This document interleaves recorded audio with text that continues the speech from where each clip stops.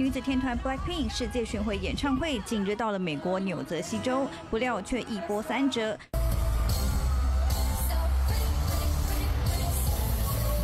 除了下起大雨，Jennie 冒雨歌舞，凌晨落汤鸡。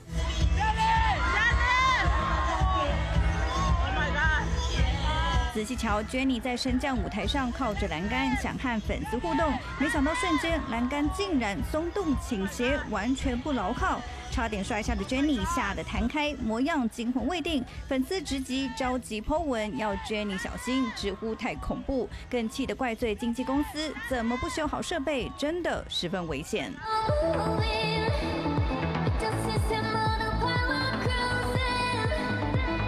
无独有偶，另一个大势女团 aespa 近期也赴日本东京巨蛋开唱，掀起旋风，但期间也使用不少升降机的画面，同样令人捏把冷汗。Winter had to stand on the top of a very high tower and a narrow stage, so that fans from afar could see her. Seeing Winter standing at a high place without any safety devices, such as wires, Fans voice concerns，孤身站在好几层楼的高塔，却只能手抓着栏杆自保。粉丝边看边担心，万一偶像掉下来该怎么办？纷纷喊话改善，别等到意外发生，酿成大祸。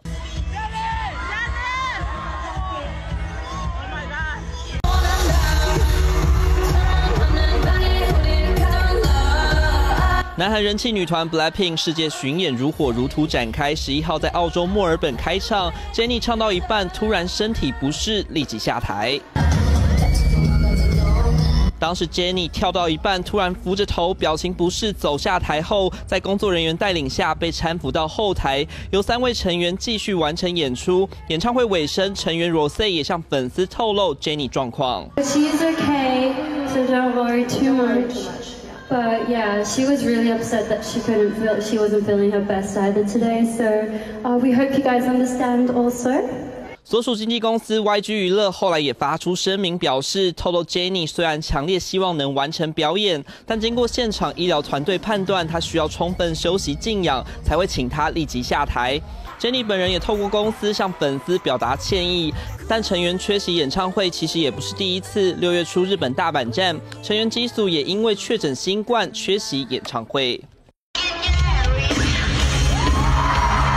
三位成员一字排开，大跳激素 solo 开花舞。当时另外三名成员在演唱会激素演唱桥段，特别留下他的位子。Blackpink 世界巡演行程马不停蹄，成员却因为健康状况频频缺席，也让粉丝忧心。希望公司能抽出时间让偶像。